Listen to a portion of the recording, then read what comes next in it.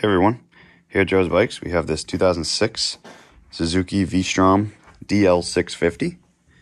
I'm going to do a walk around video to give you an idea of the condition, give you some close-ups of the plastics, the tires, kind of point out a few things as we go. This bike is an awesome bike. It's a lot of bike for the money. It does have some cosmetic touch-ups that are needed as you can see here this is a beginner bike, so this one might have been down. Hence why we're selling it so cheap.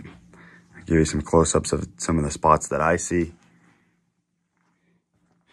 Overall, the bike's really nice and fires right up. It's a fuel-injected bike, which back in 2006, this bike was probably ahead of its time. It does have the pigtail, as you can see there, for the charging. Tons of storage with both saddlebags and tour pack, which are all quick detach so you can kind of use it as luggage. This bike is perfect for anybody that's kind of looking to get into that adventure bike sport. You know, it's a very it's a, it's, it's a nice sport touring motorcycle. It's very inexpensive. And it's a 650. Most of these sport touring bikes are a little bit bigger with a little bit more power. So this is perfect for anybody that's looking to kind of figure out if they like these types of bikes. This one's a little bit lower to the ground, a little bit more narrow, which does give it a little bit more of an easy handle to it. And it is a little bit lighter than your Pan Americas or your Ducati Multistradas. It's, um, I'm going to show you here.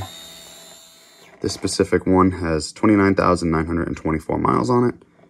These adventure bikes will go forever. I'm going to uh, fire this up. I do have to hold the clutch, so bear with me.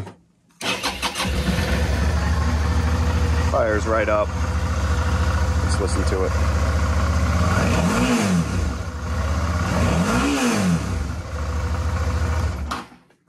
Sounds great. You know, not too obnoxious in the lower RPMs, but once you get up to the higher RPMs, it does have a little bit of a roar to it. Everything on this bike is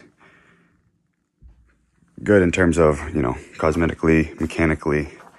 It runs and rides great. And we have this listed at joesbikes.net as well as our Facebook page. And as you can tell, we are a licensed dealer, but we don't do dealer fees. The price that you see is the price that you pay. Let us know.